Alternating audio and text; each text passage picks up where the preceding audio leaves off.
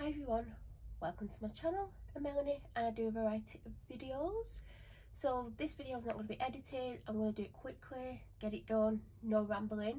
So this is from the Treatbox Advent Calendar.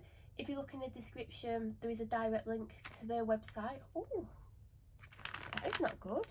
There is a direct link to their website and also a discount code which can be used on anything except for birthday boxes well the birthday advent the other birthday boxes you can and um, subscriptions. So basically 99% of the things on the website you can get a discount on. I personally love a discount. Also let me know if you use it and let me know what you've got because I love knowing what people get. So yesterday we got some furry scrunchies. I think my favourite day what was day one? No day one wasn't. Day two wasn't. I think my favourite days are the... What day did we get the coconut lip balm? Because that I'm using all the time. And also the scrunchies from yesterday. I think those are my two favourites so far.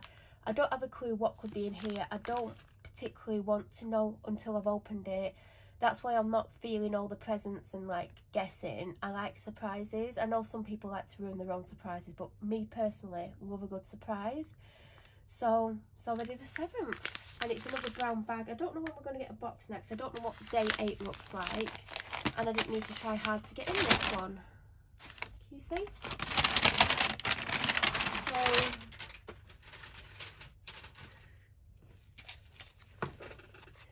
it is from the Coffee Scrub Co. And it's a cinnamon bo... bo, bo, bo, bo, bo. oh, it was bound to happen. Cinnamon coffee body scrub, all natural, vegan friendly. I've seen they've done, well, they do these. I don't know if there is in cinnamon scent, but they do a lot of boxes that are pre-made around a theme, and I've seen them in some of the pre-made boxes. Also, they've got it in the choose your own, build your own box um, where you can choose from a list of at least 100 items. I think it's one of the items on there. Not sure if it's the cinnamon scent, but obviously cinnamon's like associated with winter and festivities. I love anything cinnamon scented. I've got something next to me. Keychain lip gloss in cinnamon. And it's this is like that 12 day calendar that I showed you. I mean, I can't put any in. I'm about to go and wash my face for the second time today because I need to like get on. Um, but yeah, it's something I use. I was just going to open it, but it's sealed. I have um, the Frank one. I've used the Frank one a lot. I've had Frank, the body scrub, well, the coffee scrubs, lots of times. Normally in like beauty boxes and stuff. I've got a full size one on the go. I've had smaller ones. That's the one I use if I use this type of thing because I tend to get them a lot with things. Um, but I have tried other brands as well. But they're great. I actually need to do a body scrub um, you could probably get a couple of full bodies out of this. I know it's a tiny pouch, but you use less than what you actually think. You actually keep it on, leave a couple minutes. Yeah, I think the Frank one you leave about five minutes. So that is in day seven.